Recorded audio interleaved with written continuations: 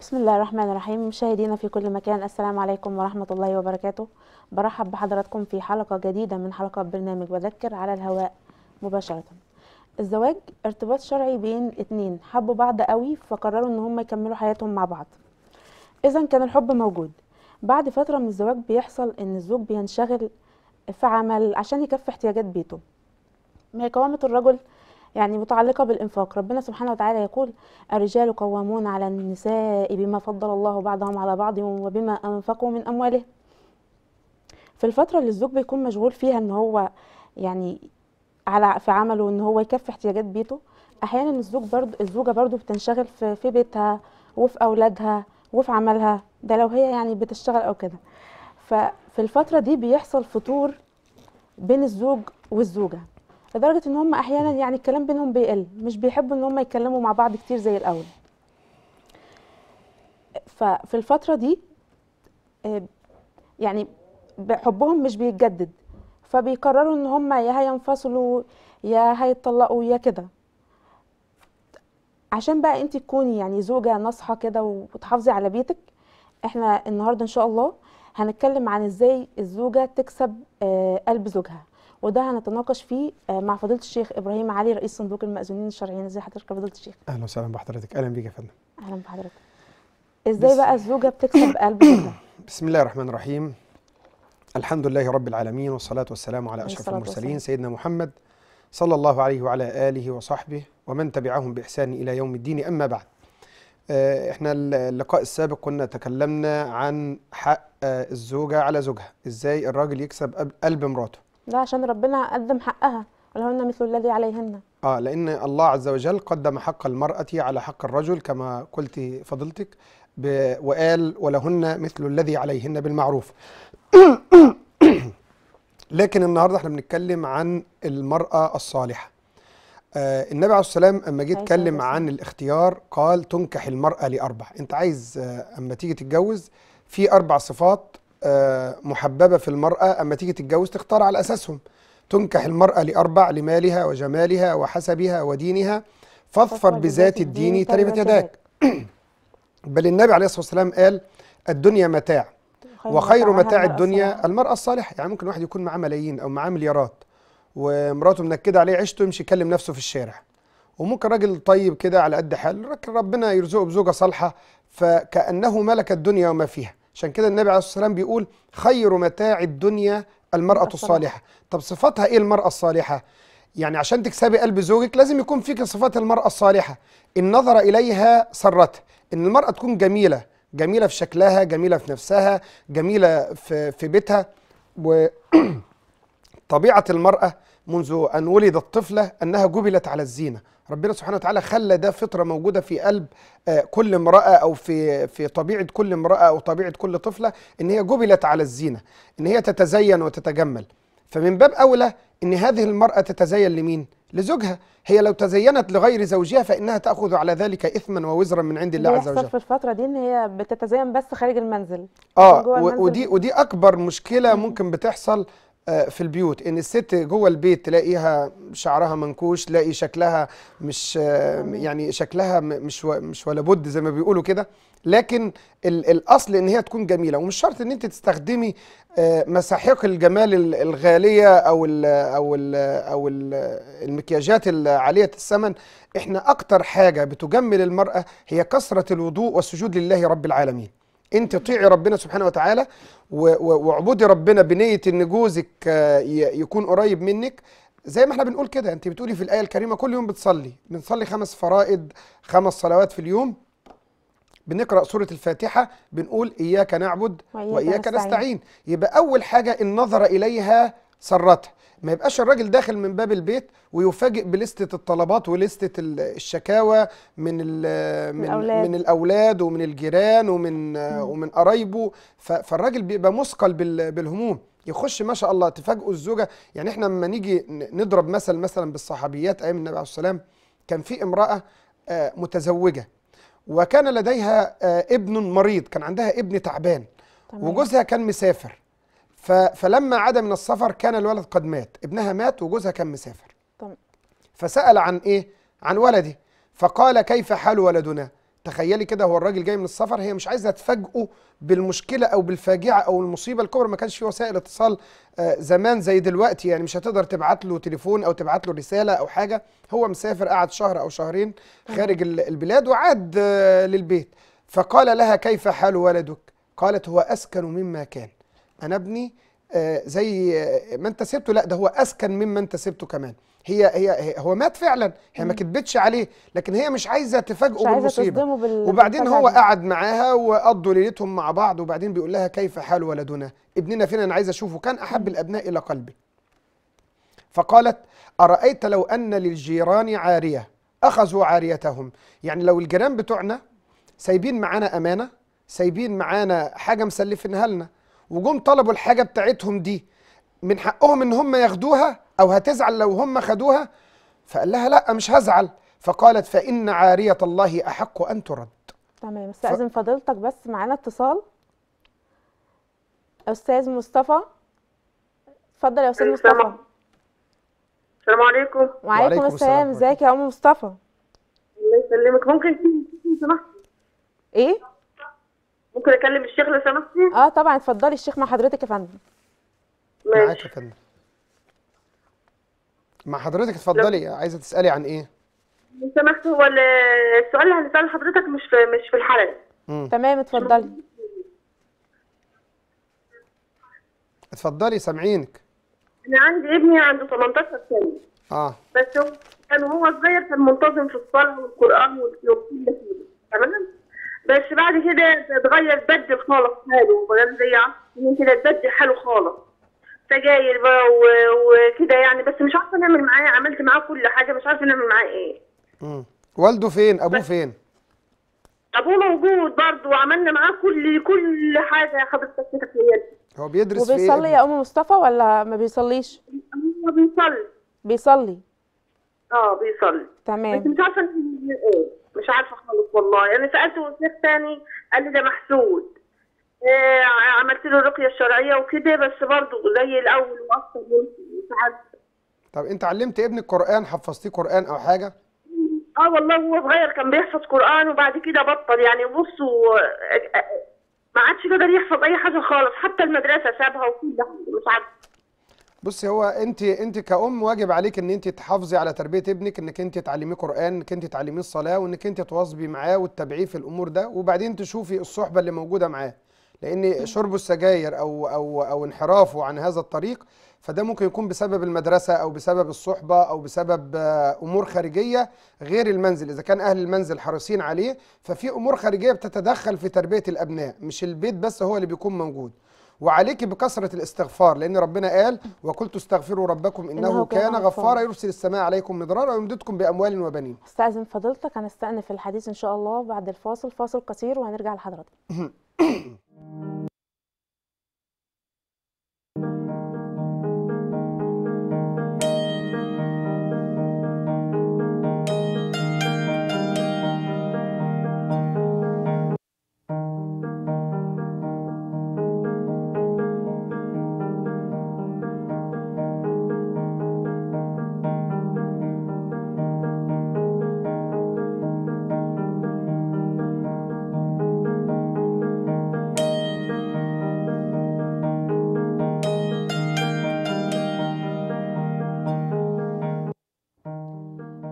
لحضراتكم بعد الفاصل وبنستأنف الحديث مع فضيلة الشيخ إبراهيم. اتفضل فضيلة الشيخ. هو إحنا لسه كنا بنتكلم عن تربية الأبناء ودي محتاجة حلقة لوحدها. يعني تربية الأبناء دي محتاجة لأن في عوامل كتيرة بتأثر على تربية ال- الأبناء ويمكن هي خرجت عن سياق الحلقة اللي إحنا بنتكلم عليه. عشان كده إحنا هنحاول نعمل آه، هنعمل إن شاء الله حلقة خاصة بتربية الأبناء إن إن شاء, شاء الله. لكن إحنا ما زلنا بنتكلم عن ال- ال- القصة بتاعت المرأة الأعرابية اللي هو جوزها جاي من السفر. وجاي تعبان وبعدين ابنها مات. فهي جابت له غلفت له المصيبة الكارثة الكبيرة اللي حصلت معاه ده في ورقة سلوفان بسيطة قوي. عليه من من المصيبة اللي حصلت. بالظبط كده. هونت عليه ال- المصيبة. قالت هو اسكن أرأيت, ارايت لو أن الجيران أخذوا عاريتهم فإن عارية الله أحق أن ترد. يعني دي أمانة. ربنا سبحانه وتعالى كان اداها لنا واسترد أمانته. وربنا سبحانه وتعالى استرد الأمانة. فهي راح اشتكى للنبي عليه الصلاة والسلام عليه الصلاة والسلام. فقال إن الله عز وجل بارك لكما في ليلتكما هذه ورزق بعشرة من الأولاد كلهم حفظ القرآن الكريم. ما شاء الله. إيه بقى فضيلة الشيخ؟ يعني كلنا كبشر كده عندنا صفات كويسة وصفات يعني وحشة. مش وحشة لدرجة القبح بس في حاجات بنقدر نتحملها والحياة تستمر معاه وفي حاجات ما بنقدرش. إيه بقى أسوأ صفة الراجل بيكرهها في زوجته؟ طيب هو دايما آه، إحنا بناخد آه، بنرجع لأمثال العرب. يعني أنا أنا أنا كنت ب ب ب وأنا بحضر الحلقة هنا وجدت إن العرب قالوا احذروا أربعة من النساء أو خمسة من النساء. يعني النبي عليه الصلاة والسلام لما جه قال الصلاة. قال تنكح المرأة لأربع لمالها وجمالها وحسبها ودينها فاصفر بذات الدين. تربت يدك فاختار النبي صلى الله عليه وسلم المرأة صاحبة الدين. لكن العرب لما جم اتكلموا عن النساء قال لك احذر احذر أربعة من النساء. وقالوا كده أربع ألفاظ أو خمس ألفاظ يمكن تكون غريبة عن المشاهد شوية لكن إحنا هنحاول نبسط هذه الألفاظ. قال المرأة الكنانة والأنانة والحداقة والبراقة وعشبة الدار. يعني إيه بقى الكلام ده؟ آه المرأة الكنانة هي امرأة آه مثلا متزوجة كانت متزوجة قبل جوزها ده وكل ما جوزها يعمل لها حاجة تقول كنت في بيت أبي أو كنت في بيت زوجي أفعل كذا وكذا أفضل منه. يعني جوزها جايب يعني لها. بتقارن بيت زوجها ببيت والدها. آه بالظبط كده فتح الله عليك. وبتفضل بيت والدها كمان على بيت زوجها. مش بتفضل هي دايما في مقارنة. هي مم. عايشة في مقارنة. يعني إحنا دايما آه، عايزة تعيشي في بيت جوزك عيشي بالقناعة. يعني أفضل صفة إن المرأة تتحلى بيها في بيت زوجها إن هي تعيش بالقناعة. تقنع ما دام الزوج بيؤدي واجباته. بيشتغل بيعمل اللي عليه ما بينامش في البيت. بيجتهد بيسعى لينفق ذو سعة من سعته. هو الراجل آه، نزل شغله ونزل عمله وجاب لها قليل من الرزق. وده بيحصل مع كثير من الأزواج. آه خلاص اقنعي وخصوصا في بداية الحياة الزوجية بيبقى الراجل محمل بأعباء ومحمل بمصاريف ومحمل بديون وأقساط وجمعيات. فأنت النهارده لابد أن تكوني قانعة. تراعي تراعي ظروف زوجها. وتراعي مشاعره كمان. مم. يعني م م إن أنت لما تقولي كنت في بيت أبي أفعل كذا وكذا أفضل منه ده حتى بيجرح زوجها. آه بالظبط كده. المرأة الثانية هي المرأة أو الصفة القبيحة أو الصفة التي آه الراجل ما يحبش يشوفها في المرأة آه إن هي امرأة تكون أنانة. أي كثيرة الشكوى وكثيرة الأنين. كل ما ما يعمل لها حاجة تفضل تشتكي. كل ما يزعلها في حاجة تبقى ت- تاخد على خاطرها وتفضل مستمرة في هذا الأمر تحاولش مدة انها تحل الأمور حتى بينهم. ما بتاخدش الأمور ببساطة. سيدنا معاوية كان ليه كلمة جميلة قوي. بيقول لو أن بيني وبين الناس شعرة ما انقطعت إن شدوها أرخيتها. وإن أرخوها شددتها. يعني أنا بشبه العلاقة الزوجية بحاجة زي كده إن هي شعرة موصولة ما بين الزوج وما بين الزوجة. لو الزوج شد الزوجة ترخي شوية. لو الزوجة شدت الزوج يرخي شوية. وبكده تستقيم الحياة الزوجية ويستقيم ال- ال- البيت. استأذن فضيلتك بس هناخد أستاذ محمد من القاهرة. السلام عليكم يا أستاذ. محمد. وعليكم السلام ورحمة الله. وبركاته آه، سيدي الفاضل أنا آسف على ازعاج اولا لا تحت أمر حضرتك. و- والحلقة جميلة بسم الله ما شاء الله عليها يعني. تمام تسلم. آه، كنت محتاج أعرف من شيخنا آه، أنا أنا كنت منفصل بقالي ثلاث سنين تمام؟ تمام. وربنا أراد بزوجة آه، طلبت مني إن أنا أبقى أتجوزها عرفي. طب آه، حضرتك عندك أولاد؟ آه آه. تمام. ال- ال- الزوجة العرف ديت طلبت مني إن أنا أتجوزها عرف. طب- تتجوزها عرف ليه؟ حلال ولا حرام؟ عايزك تتجوزها عرفي ليه؟ إيه السبب؟ آه، السبب إن هي معاها طفلة من زوجها آه. آه، ومن طريقها يعني. آه ومش عايزة تديله الولد. مش عايزة مش عايزة ت- يعني ترجع ترجع الطفل هي أمها موجودة؟ أمها عايشة؟ أم الأم لا. أم الأم مش موجودة. طيب آه. آه، أم زوجها عايشة؟ لا. طيب أختها ليها أخت مش متزوجة؟ لا. طيب هو ليه أخت مش متزوجة؟ لا. يعني الحضانة هتنتقل مباشرة. طيب بص يا أستاذنا هو الزواج العرفي آه يعني هو زواج لا يضمن أي حقوق شرعية. تمام. الزواج لا يضمن أي حقوق. تمام. عشان كده إحنا لا ننصح بهذا الأمر ولا نقول به. تمام يا فضيلة آه. الشيخ. تمام شكرا. بس تتجوز أستاذ روح. اتجوز رسمي عند المأذون و... والقانون ياخد مجراه لو من حقها إن هي تاخد الأولاد تخلي الأولاد معاها. لو من حقها إن الأولاد يبقوا مع زوجها يروحوا لزوجها. تمام شكرا لاتصال حضرتك. نستأنف يا فضيلة الشيخ الحديث عن المرأة الحداقة. آه ال- المرأة الحداقة هي امرأة تنظر إلى ما في يد غيرها. عمالة بتشوف أختها عندها إيه هي عايزة أفضل منها. بتشوف آه، جارتها عندها إيه أو جابت إيه وعايزة تشتري زيها. بتشوف آه، إيه اللي في البيوت بتاعت الناس التانية وعايزة زيها. إحنا بنقول زي ما بنقول كده كل دار وليه مدار. كل بيت وليه ال- ال- الطبيعة بتاعته. أنا بيتي غير بيت آه، صاحبي غير بيت جاري غير بيت. كل بيت ليه ال ال الإمكانيات اللي متوفرة فيه سواء إمكانيات مادية أو إمكانيات آه، اجتماعية. فلا داعي إنك أنت تنظري إلى ما في يد في غيرك. عندها قناعة عشان حتى يبقى فيه سعادة. آه القناعة والصبر. يعني إحنا من ضمن الصفات اللي إحنا بن- بنفضل إن هي تكون في المرأة وفي الرجل أيضا يعني القناعة والصبر. إحنا دايما بنقول الكمال لله وحده والعصمة لرسول الله صلى الله عليه وسلم. طبعا. مش ممكن ابدا هتلاقي راجل كامل في جميع الصفات وال- والأخلاق. ممكن تلاقي راجل طيب لكن ما معهوش فلوس. ممكن يكون راجل معاه فلوس لكن عصبي شوية أيوة فتستحمله أي, أي حاجة بشرية بيعتريها النقص والزيادة. آه بالظبط كده. ال- النوع الرابع من النساء هي المرأة البراقة. هي امرأة تتزين وتتجمل ولكن للأسف الشديد لا تتزين وتتجمل لزوجها ولكن هي تتزين لغير زوجها. هي رايحة مناسبة رايحة فرح تبقى على سنجة اتكلمنا عشر عنها في بداية الحلقة إن هي جوه البيت بتبقى حاجة وبره البيت بتتزين لغير زوجها. زوجها آه. فالمفروض إن هو العكس هو اللي يحصل. المفروض المفروض إن إن إن الزينة تكون للزوج وهي تؤجر على على هذه الزينة. زي ما إحنا قلنا الحلقة اللي فاتت إنك أنت لما تعملي الحاجة اعمليها من باب العبادة وليس من باب العادة. قل إن صلاتي ونسكي ومحياي ومماتي لله رب العالمين لا شريك له وبذلك أمرت وأنا أول المسلمين. أستأذن فضيلتك هناخد أستاذة نور؟ أستاذة نور السلام عليكم.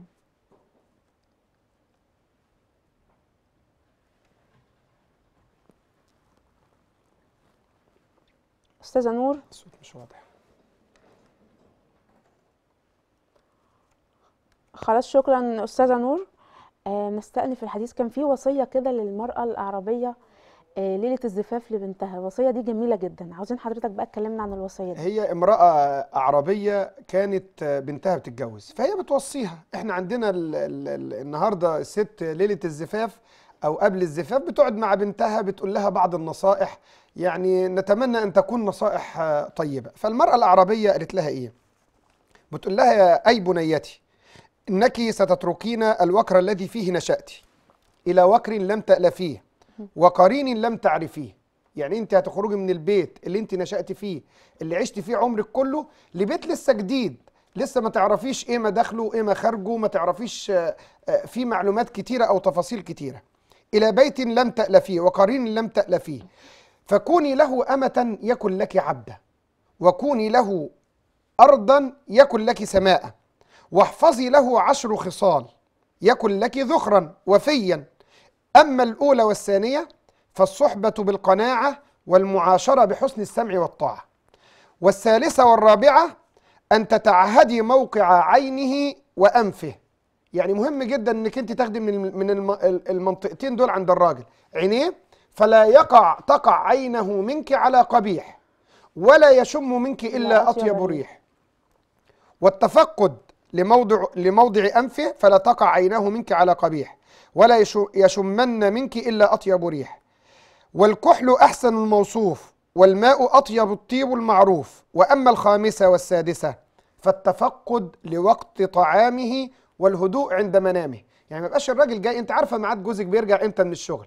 بيجي الساعة 3 من الشغل يبقى انت مجهزة الطعام بتاعك مش لسه هتسخني مش لسه هتعملي انت جاهزة بالطعام لل... للوقت اللي هو بيرجع فيه. بلاش مشاكل بقى أو نقاشات مع الأولاد وهو لسه ما هي ما هي البيت. بتقول السبب إيه بقى؟ الأعرابية بتقول إيه؟ فإن حرارة الجوع ملهبة. أيوه. لأن الراجل بيبقى جاي جعان كده بيبقى متعصب. وده طبيعي ده آه، طبيا حتى أما بيبقى فيه نقص في السكر في جسم الإنسان بيبقى عنده نوع من أنواع العصبية. وأما تنغيص النوم فإن تنغيص النوم مكروبة. ما يبقاش الراجل نايم وتقومي تصحيه كده تخوفيه من وهو قايم من فان النوم. هو بيبقى تعبان في الشغل عشانك أو عشان أولادك. بالظبط كده. وأما السابعة والثامنة فالعناية ببيته وماله والرعاية لنفسه وعياله إنك أنت تحافظي على فلوسه. إنك أنت ما تكونيش امرأة مسرفة إنك أنت ما تبقيش امرأة مهملة في في, في شؤون بيتك. مش مهملة في الأدوات اللي موجودة تكسري وتتلفي وتبوظي و وتبقى في نوع من ال- من أنواع ال- الإسراف. كذلك إنك أنت تربي الأولاد وتراعي الأولاد في تنظيفهم وتربيتهم وتراعي وتراقبي سلوكهم. حتى هي بتساب على ده. أما التاسعة والعاشرة فلا تعصين له امرا ولا تفشين له سرا. زي ما إحنا قلنا خير متاع الدنيا المرأة الصالحة التي إن نظر إليها سرت وإن أمرها اطاعته أما جوزها يأمرها بحاجة المفروض تسمع كلامه. يعني واحد ممكن يسأل يقول لي يا عم الشيخ طب إيه هي حدود ال- ال- الطاعة؟ هل الطاعة طاعة مطلقة ولا الطاعة مقيدة بأمر ما؟ نقدر نقول إن الطاعة مقيدة ب- بشرط واحد ألا يكون فيه معصية لله عز وجل. أما إذا كان فيه معصية فلا طاعة لمخلوق في معصية الخالق. إن أمرها بز- زوجها بشيء ليس فيه معصية فيجب عليها أن تنفذ هذا الأمر. وأن تسمع سيبنا بقى من ال من ال ال الكلام اللي بيطلع في كثير من من وسائل الإعلام وال social media ويقول لك المرأة القوية والمرأة مش عارف إيه وما تسمعيش كلام جوزك. الكلام ده كلام لا أساس له من الصحة وهو كلام بعيد كل البعد عن بس عن الدين. فضيلتك بس هن... هنرد على الحاجة أبو فيده السلام عليكم. السلام ورحمة الله وبركاته. ألو؟ ألو مع حضرتك آه لو سمحت ممكن أكلم فضيلة الشيخ؟ طبعا. اتفضلي آه لو سمحت يا فضيلة الشيخ، معاك يا أنا يعني واحدة عرفت إن زوج واحدة متجوز عليها ومش عايزة أقول لها، هل ده حرام؟ أنت تقولي لها ليه طيب متجوز عليها من فترة بس مش راضية أقول لها. يعني واحدة قريبتك يعني أه طيب ما أنت لو قلت لها كده هتسببي في في مشكلة أه طب يعني أعمل إيه؟ حضرتك؟ مفيش داعي إن أنت تعرفيها أه أسكت يعني. آه اسكتي أفضل يعني. لأن آه. الزمن اللي إحنا فيه ده موضوع إن واحد يتجوز من امرأة تانية دي بتبقى مشكلة كبيرة في البيوت. صعب صعب صعب جدا. فإحنا حفاظا على استقرار الأسرة هي مش عارفة. والغريب إن الست ما تبقاش عارفة وحياتها مستقرة وأمورها ماشية كويسة مجرد إن هي تعرف الحياة تنقلب راسا على عقب. فالأفضل يا ام إنك أنت ما ما, ما تبلغيهاش. شكرا لاتصالك وكده يعني جالنا ال- الرسائل بأسئلة على رسائل ال- الصفحة. تمام. هستأذن فضيلتك بس هنرد عليها. ممكن رسائل بس بعد حضر... بعد إذن حضراتكم؟ تمام. آه، في حد باعت رسالة بيقول آه، السلام عليكم ورحمة الله وبركاته. ممكن أسأل حضرتك سؤال؟ أنا دلوقتي عندي ظروف ومعايا إنسانة محترمة فعايزين نتجوز عرفي. إيه رأي حضرتك في الموضوع هو ده؟ آه، انت عشان تتجوز إحنا يمكن آه، الأخ اللي كان بيسأل ده آه، عن. عن الزواج العرفي دايما الزواج العرفي مربوط بشيء غير مباح شرعا يعني سي آه، آه، إحنا مش هنتكلم عن مدى صحة هذا الزواج لكن دايما بيتعمل عشان خاطر حاجة غير مباحة من ناحية شرعية. إما إن هي تستولي على أموال معاشات مش عايزة ابنها يخش الجيش مش عايزة جوزها ياخد عايزة- آه، حضانة ابنها. آه، زوجة تانية مش عايزة الزوجة ال- الأولانية تعرف. ف... ف أو اتنين شباب اتعرفوا على بعض وعايزين يتجوزوا عرفي. ف... فإحنا بنقول لهم إيه؟ النهارده لا نكاح إلا بولي. لازم أبوك يكون موجود ولازم أهلك يكونوا موجودين ولازم يبقى في شهود. لو توفرت هذه ال- الشروط فإن الزواج صحيح من الناحية الشرعية. أما إذا لم تتوافر هذه الشروط فإن الزواج آه، غير صحيح من الناحية الشرعية. في سؤال تاني. السلام عليكم. ممكن ممكن أعرف لو مطلقة وهتتجوز من أعزب. إيه صيغة الكلام اللي هتتم في القاعدة نظرا للتفكير الكثير في الإحراج الشديد أمام الجميع؟ هو طبعا لما هي بتكون مطلقة ثيب يعني. أيوة. اي مدخول بها تمام. ف ف فبتبقى محتاجة إن إن اللي حوالين منها ما يعرفوش إن هي مطلقة. يعني أهل العريس بيبقوا مش عارفين إن هي مطلقة قبل كده. محرجة من آه فبتكون مكسوفة أو محرجة من ذكر هذا الأمر. فالبقرة والثيوبة الإسلام أحله. النبي عليه الصلاة والسلام تزوج بثيب. يعني أول من تزوجها السيدة خديجة كانت أكبر من شوفي سبحان الله يعني يعني هي حكمة النبي عليه الصلاة والسلام إن هو تزوج من السيب وتزوج من البكر وتزوج من هي أكبر منه وتزوج من هي في مثل عمره وتزوج المطلقة وتزوج الأرملة وتزوج من هي أصغر منه. تمام. لأنه فعل النبي عليه الصلاة والسلام تشريع. للأسف وقتنا مع حضرتك بس على السؤال. هي الصيغة الشرعية ما ما فيش بأس لا, لا يتم ذكر موضوع إن هي ثيب ولا حاجة وبتبقى الصيغة الشرعية عادي وما فيش أي مشكلة في الموضوع ده. تمام. بعتذر جدا لمقاطعة حضرتك. لكن وقتنا مع حضرتك بيعدي بسرعة. بشكر حضرتك وبشكر مشاهدينا وانتظرونا إن شاء الله في حلقة جديدة الأسبوع القادم. وتابعونا على صفحة البرنامج وجروب البرنامج وذكر. السلام عليكم ورحمة الله وبركاته.